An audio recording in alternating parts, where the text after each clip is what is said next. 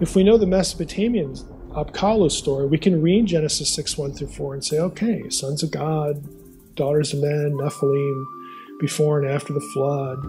Okay, we, we know what they're shooting at. The Bible asks us to believe a lot of strange things about the spiritual world. At first, we might be tempted to ignore them, but if we say we believe the Bible, we can't avoid these concepts. I don't find this easy to believe. Yeah. Like, this isn't natural for me to. So I'm choosing to say, I think these biblical authors and Jesus have a way of viewing the world that they can see something that I guess I can't see. Yeah. There's something I'm blind to. In Genesis 6 1 to 4, those four verses to us lack context. We lack the context. A literate Israelite would not have lacked the context. There's three rebellions. There's three that led to contribute to why the world is the way it is. This is where it begins. You speak truth to lies. Here we go again. Welcome to another episode of Ring Them Bells as we're continuing in on our series, Jesus versus the powers of the three rebellions. Our modern Western worldviews are going to be tested. We're going to need to open our minds and open our Bibles as we examine this information. Why is the world so messed up? Why did Jesus come to this earth? This second rebellion is really going to help us understand the answer to those questions. Who are the Nephilim? Are giants real? Did fallen angels really have sex with the daughters of men?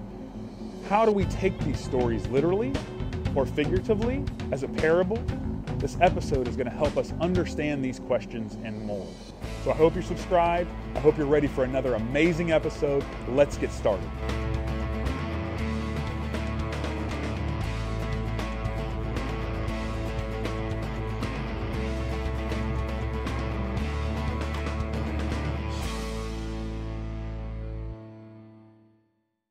Why is the world and all humanity so thoroughly wicked? What's the average Christian going to say? The fall. Okay, because that, that's what we're taught. And it's not that the answer isn't the fall. The answer is the fall plus two other things. Even the earliest Christians, the, the very beginnings of what we call sort of the, the early church or the early church fathers, they would not have said only the fall. They would have said, well, there was this thing, the fall, but they also would have said there was this thing that happened in Genesis 6, 1 through 4. Genesis 6 describes the second supernatural rebellion. Some of the sons of God, members of the heavenly council, transgressed the boundary between heaven and earth. Genesis 6 recorded the second supernatural rebellion. The fallen sons of God were sent to Tartarus for their transgression. Tartarus is a Greek word for the realm of the dead, what we think of as hell. They'd stay there until the day of the Lord, at the end of days. A term like fallen angels makes us think of demons like the ones Jesus cast out. But the rebels of Genesis 6 are imprisoned, so they can't be the demons Jesus encountered. So where did they come from? The answer lies in the offspring produced by the forbidden union between the sons of God and the women in Genesis 6. Those offspring were known as the Nephilim. They were giants. Their descendants became the giant clans Moses and Joshua battled. Jewish writers believe that demons, like those described in the Gospels, were disembodied spirits of the giants. They base this on the Bible's mention of dead Rephaim in the underworld. Jewish books like 1st Enoch and the Book of the Giants from the Dead Sea Scrolls make that point. Genesis 6. Okay, again, we're all familiar with this passage sons of God, daughters of men. Nephilim on the earth in those days and also afterward. People who were reading the, these texts, who were not sort of conditioned to not let them say what they plainly say, um, took a supernatural view of this they weren't troubled, you know, by some of the questions that, that pop into our heads. You know, well, how does this work? You know, and they're, they're, they're not there. They, they, they reflexively do this. And, and two of the people that do that are Peter and Jude. So now you got a problem, which is why you'll read all sorts of exegetical gymnastics that will say things like Peter and Jude, they weren't thinking about Genesis 6. And Peter and Jude are obviously familiar with that stuff, and they're not flustered by it at all. They embrace it, they bring it into their text. This, it just is what it is. So you can say that Peter and Jude were wrong. I mean, you can do that, but that's that's basically what you have to do to eviscerate or you know, you know cut the supernatural out of Genesis 6 1 through 4. This is a quote from Annus, the Mesopotamian Apkallus. Now, Apkallu was a Mesopotamian. Before the flood, they were completely divine. After the flood, they're not. Okay?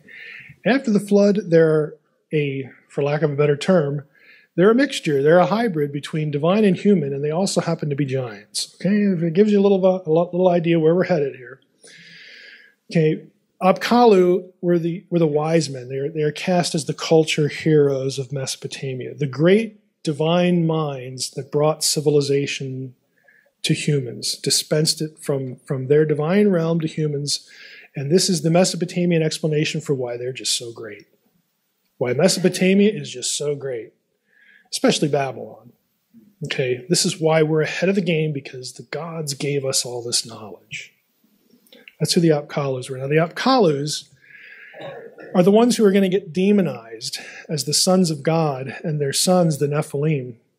And those figures in later Enochic literature appear as the Watchers and the Giants, illegitimate teachers of humankind.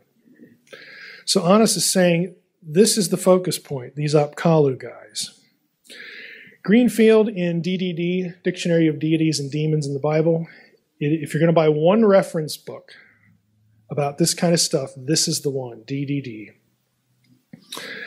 Says this In Mesopotamian religion, the term Apkallu, Sumerian Abgal, is used for the legendary creatures endowed with extraordinary wisdom, seven in number. They are the culture heroes from before the flood. So we, we can look at that and we can kind of know, you know, what, what they're sort of what they're sort of fishing for. Because if we know the Mesopotamian Apkallu story, we can read Genesis 6 1 through 4 and say, okay, sons of God, daughters of men, Nephilim, before and after the flood. Okay, we, we know what they're shooting at. But it's the Enoch stuff that adds their punishment. And that's the stuff that Peter and Jude pick up on and winds up in Peter and Jude and I hope you guys are enjoying this series. It has revolutionized how I look at the Bible. If you haven't yet, please subscribe, like, share, turn on the alerts for this channel. All those things help us get the message out about what God has done for this world, and we're so excited to have you here along for the journey.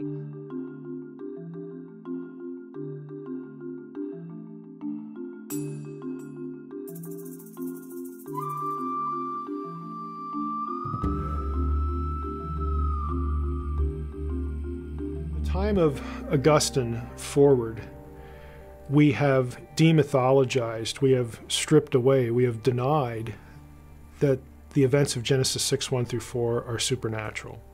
We explain away the sons of God episode with, with the daughters of men. That wasn't the case, you know, for centuries, you know, since it was written on through the intertestamental period.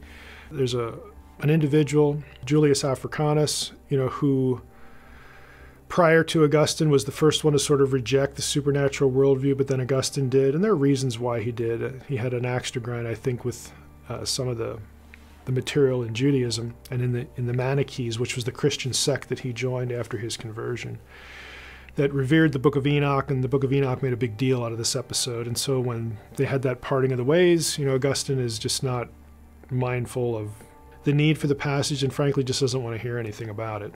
And so the rest of the church, because of his stature, essentially follows suit. And so ever since we've had views of Genesis 6 that make the supernatural context of it go away. So we miss number two. And number three is we know all about the story of Babel, but we never really find Deuteronomy 32, 8, and 9. Because prior to the Dead Sea Scrolls, it would read that the nations were divided up according to the number of the sons of Israel. And the few people that asked, well, how does that make sense because there was no Israel, don't really have an answer.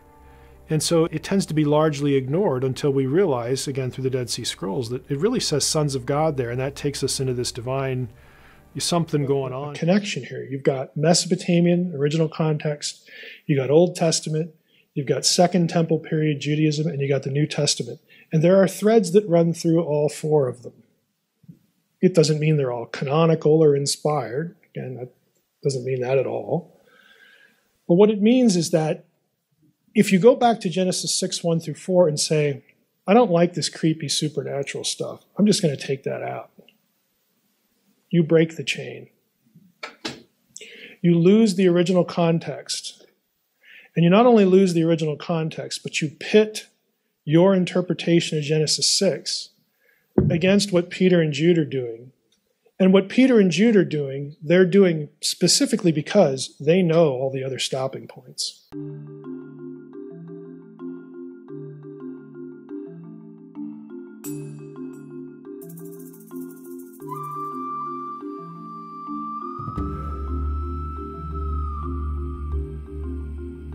Watchers in its original context. I'm guessing a lot of you have never read the Enoch story, so let's just go through some of the basic parts of it. When the sons of men had multiplied, and in those days beautiful and comely daughters were born to them, and the watchers, the sons of heaven, saw them and desired them, they said to one another, Come, let us choose for ourselves wives from the daughters of men, and let us beget for ourselves children. And Shemhaza, their chief, said to them, I fear that you will not want to do this deed, and I alone shall be guilty of a great sin. So apparently it was his idea, and he's like, I don't want to I don't want to only be blamed when this thing just goes to hell in a handbasket. And they all answered him and said, Let us swear an oath. Let us all bind one another with a curse that none of us turn back from this counsel until we fulfill it and do this deed. Then they all swore together and bound one another with a curse. Now, you notice the, the deed again, is cast in, in sexual tones. You know, let, let's, let's go have children.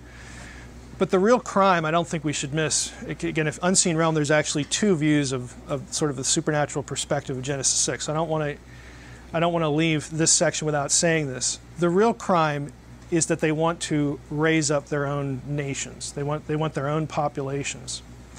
They want to do, they want to, they want to imitate God without His permission it's kind of a Gnostic flavor to that if you know a little bit about Gnosticism. So the, you know, this is this is what's going to become the, the real issue here. They were all of them 200, and they descended in the days of Jared or Yared onto the peak of Mount Hermon. Okay, Hermon is the key location. And they called the mountain Hermon because they swore and bound one another with a curse on it. Okay, this Hermon in Hebrew comes is related to, it's a better way to say that, same root from as karem, harem. Again, the devote to destruction, to put under the ban, that sort of thing. So there's an association there with between the terms. These and all the others with them took for themselves wives, and among them such as they chose, they began to go into them and defile themselves through them. Again, they defiled themselves. This is a transgression of heaven and earth. To teach them sorcery and charms, and to reveal to them the cutting of roots and plants, and they conceived from them and bore to them great giants. Asael, another character, taught men to make swords of iron and weapons and shields and breastplates and every instrument of war. And there was much godlessness upon the earth, and they made their ways, ways desolate. Shemchaza taught spells and the cutting of roots. And then you get a list of which watcher taught what to people. You, know, you get this whole list. You get signs of shooting stars, signs of the earth, signs of the sun, signs of the moon. Again, astrological stuff.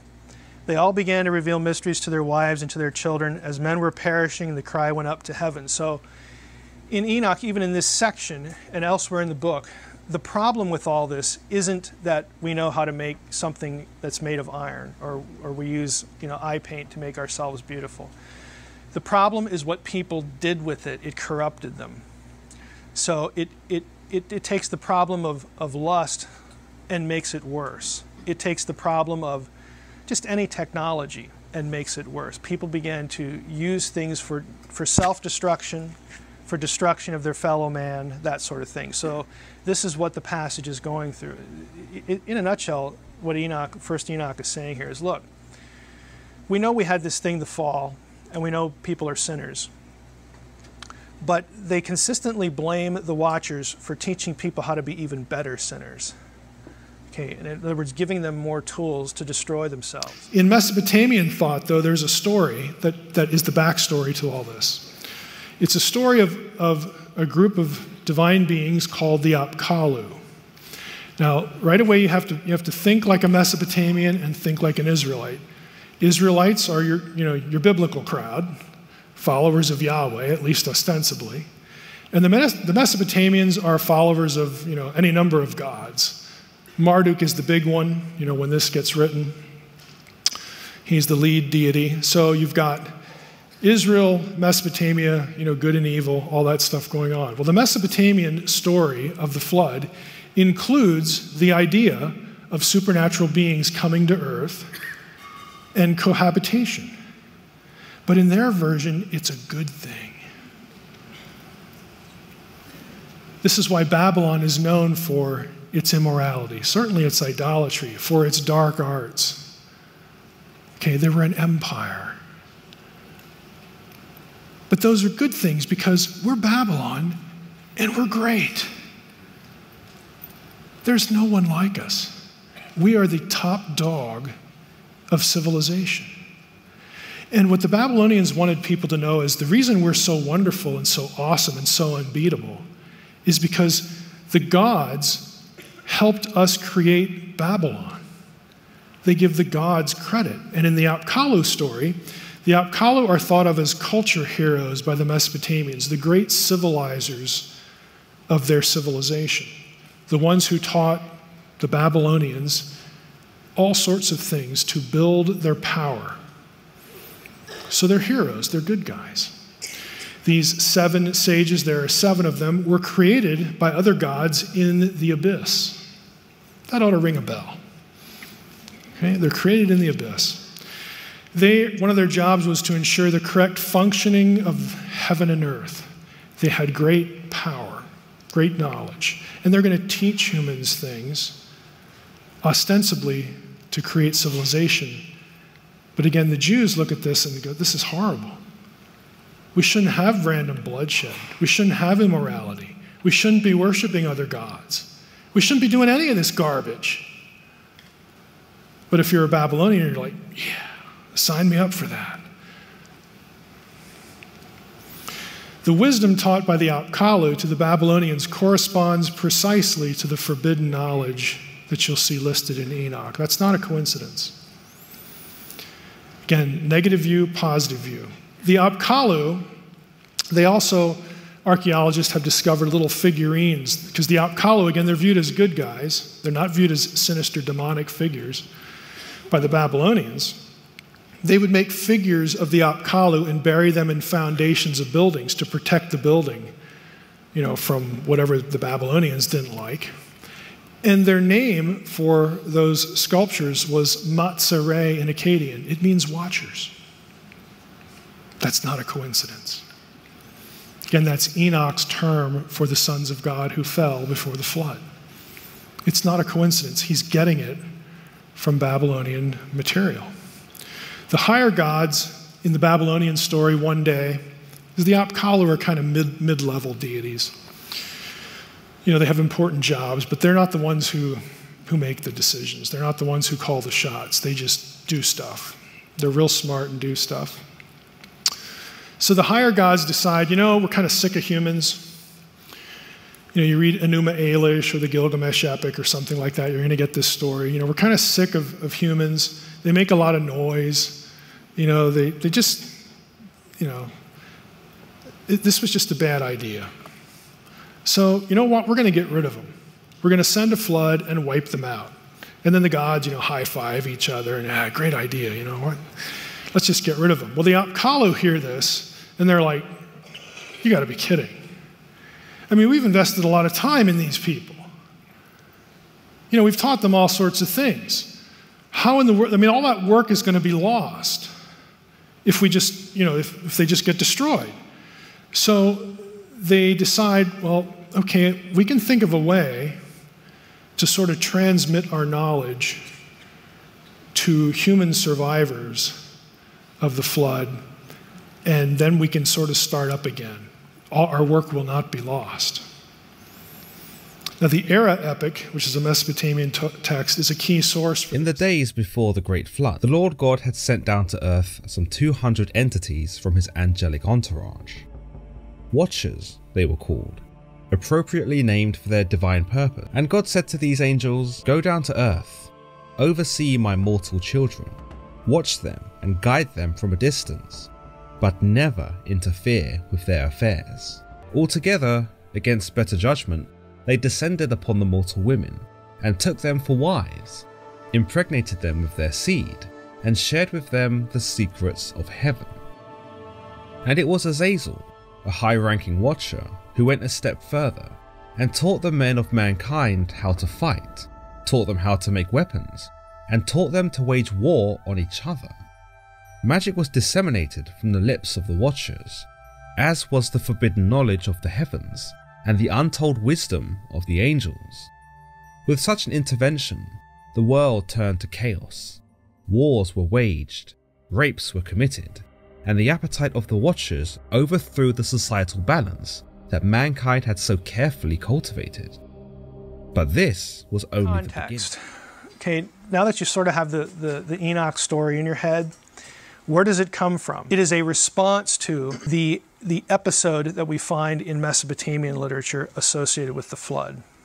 The biblical stuff, Genesis 6 1 through 4, this whole weird episode, is a response to something that the Mesopotamians wrote about and believed and thought it was great, thought it was good. The Israelites thought it was wicked and evil. So there's an opposition there. And so Genesis 6 1 through 4 is in the Bible to tell the Israelites that these events that preceded the flood were not good, they were evil.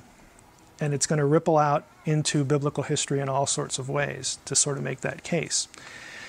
It's, the story centers on the Apkallu. The Apkallu then were the wise divine beings from the abyss, from the underworld, the place opposite the heavens. They were responsible for maintaining the correct balance between heaven and earth. That was the will of the greater gods. And they possessed knowledge from the divine world that sort of made heaven and earth tick. Again, they knew lots of stuff. The scribes of Babylon living after the flood took great pains to establish the notion that their own knowledge, you know, what we scribes know, and therefore the greatness of Babylon. This is why we're so smart, and this is why Babylon's so great. Why? Because we, our knowledge has been inherited from the Apkallu. You see, you know, in this book, uh, the last note there, you may have not have known this, but Gilgamesh is actually mentioned by name in something called the Book of the Giants from Qumran.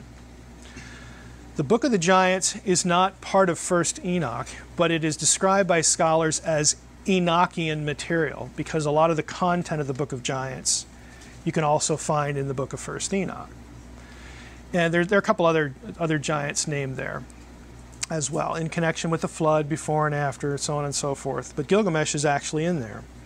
So th- just that one line, I just want to pause here a second. Just that one text tells you that the Jews of this period were reading Mesopotamian stuff. Because you don't just start writing a book and, oh, I need a book, I need a name for this giant. What should I call him? What should I, oh, Gilgamesh. Well, that sounds good. Where'd that pop into my, no, that isn't how it happens. They're reading Mesopotamian material. They had inherited Mesopotamian stuff. It's part of their framework. It's part of their, scholars would call, cognitive frame of reference.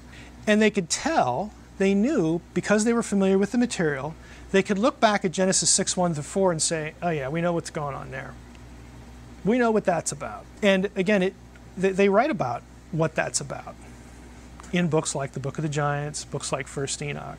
Again, this is all a matrix of ideas. And the, and the reason, again, it's unfamiliar to us, it's because we're not allowed to read that other stuff. um, if you did, you would just, the lights would just go on in different places as you, you know, expose yourself to material.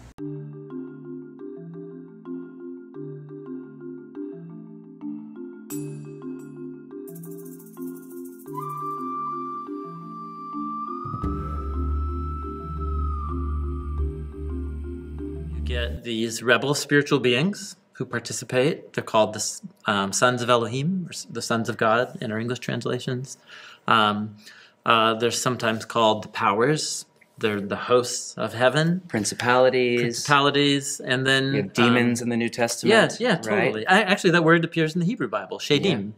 Um, so, and what these are are beings who are working on an individual and corporate level to participate and aggravate the cosmic rebellion, resulting in the world that you and I. It's one seed. That's Glenn. one seed. the the promise given on page three in Genesis three fifteen is that there's another a human seed who will, who will not not only not give in to spiritual evil, but will overcome and defeat it at its source. Yep. Like Deal with the real problem. deal with the real problem at its root. Um, and and then this whole human lineage that you follow gets traced on through Abraham, and he's pretty awesome, except when he's not acting, when he's not acting like a snake. Aren't we all? Totally. When he's not deceiving and lying and abusing immigrants, he's pretty Wow. good. When and his descendants are no better, right? Jacob. Jacob's main name means deceiver. Yep. Um, and then the sons of Israel, the strugglers, those who struggle with El, those who struggle with God. That's what Israel means, struggles with God. And so the story goes on, and you're just like, oh, Moses, he's pretty good, except when he's not. David, he's pretty good, except when he's. And so you leave the Hebrew Bible going, you know what we need around here? We need a new human who won't give in to spiritual evil, um, who will somehow overcome the evil one, but also in a way to rescue the evil the people who are captive Yeah. to Babylon, To the evil one. to the evil one, and its social manifestation in Babylon. And or would have been Roman Empire. that's right. of the New Babylon becomes a, a symbol Yep. to refer to any and all uh, human cultures that turn them their So values. Nazi Germany is God. Babylon, Totally. and the Roman Empire is That's Babylon. right. And America's Babylon. I mean, all the, ev- hundred percent. Totally. So you walk to page one of the New Testament and you see Jesus declaring the kingdom of God, that God is taking back his rule of the world through a, div- a merging of the divine and human. Yep. Are you- I mean, Which has been the storyline. totally. Yeah, that's right. That's what All of a sudden, the incarnation is like, Yeah, well, that's yeah, right. of course. That's exactly right. So the, the this is what really I began to open be, open my eyes to this. Is there is so much I couldn't account for in the story Yeah. of the Gospels within a materialist, non supernatural world. Yeah, is it Luke's line? The reason the Son of Man came is to destroy the works of the devil. like that, that- that's the reason. Oh, yeah, Yeah. right. Yeah. And so Jesus, it's crystal clear to Jesus that his enemy isn't human kingdoms. And- Jerusalem, the holy city of David, is being run by people who have all given Corrupt. in Yep. to participating in the Roman power system.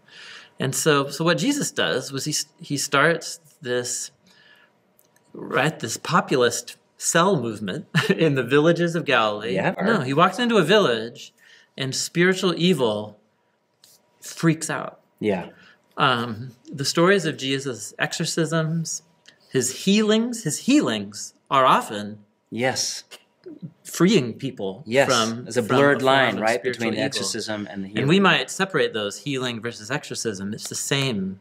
It's the same activity, and it's just, it's totally paired with integrating Matthew and the prostitutes and the sinners into God's family. wow. That and and healing those who are impure and bodies riddled with skin disease and decay, who couldn't go to the temple, but Jesus invites them into His little temple presence Yeah. that's traveling around now. Healing. And so Jesus, um, his, he's he's so fully living in the world set up by the Hebrew Bible that he sees his true enemy. He'll go announce the kingdom of God in a city, and demons are cast out and people are healed. And what he'll say in Luke chapter ten is, "I'm seeing the Satan fall from heaven."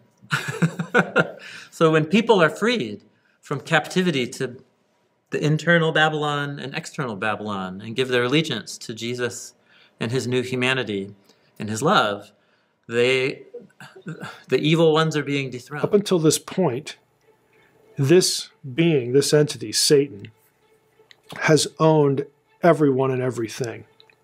But I'm here to tell you that if you are a member of the kingdom of God, this being, Satan, has no claim on you at all. It's as though the prosecutor has been thrown out of court.